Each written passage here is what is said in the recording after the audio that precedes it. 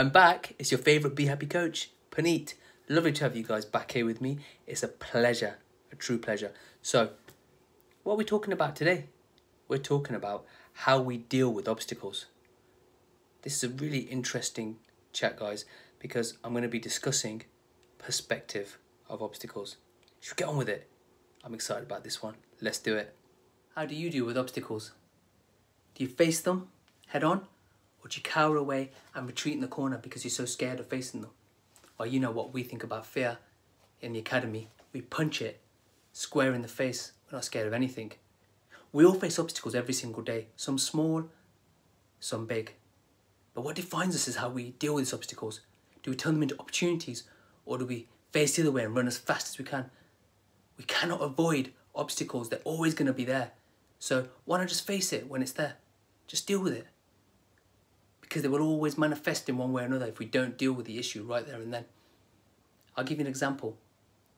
In September 2019, my wife and I uprooted from where we were living because it wasn't associated with great experiences. However, those experiences did help us to grow, but we wanted a fresh start, so we moved.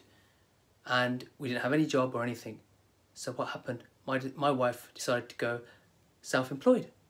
And she did it. And she built up a client base. And then the pandemic hit. And she couldn't work anymore.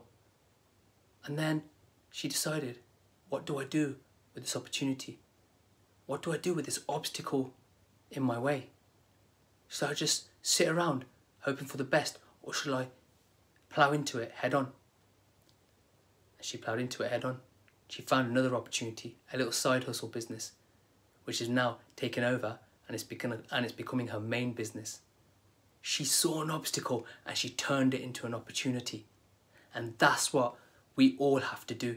Any obstacles that come in our way, let's turn them into an opportunity. Because you never know, that's the opportunity that could change your life financially, mentally, spiritually. It can have such a positive impact on your life, the kind of impact that you would never have guessed it would have had. So next time you're facing an obstacle, deal with it head on.